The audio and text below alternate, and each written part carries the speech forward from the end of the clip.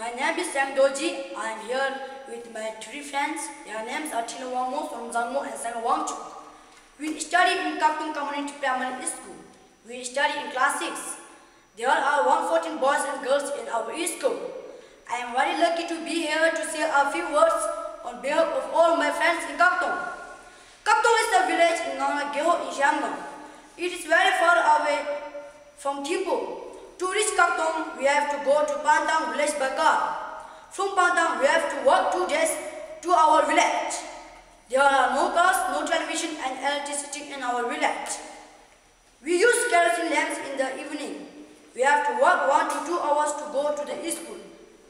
In summer, when there is rain, the rivers and streams become big and we cannot cross them and miss our classes. My friends and I took part in a photography project. We were get this chance.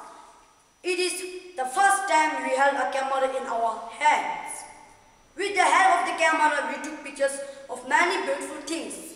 What we like is that we can take pictures of what, of what we do every day in our village.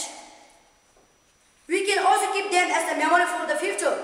The photography lesson help us to look at our environment, our tradition and culture, and the way we live together in Kagtong. We took pictures of our grandfathers and grandmothers.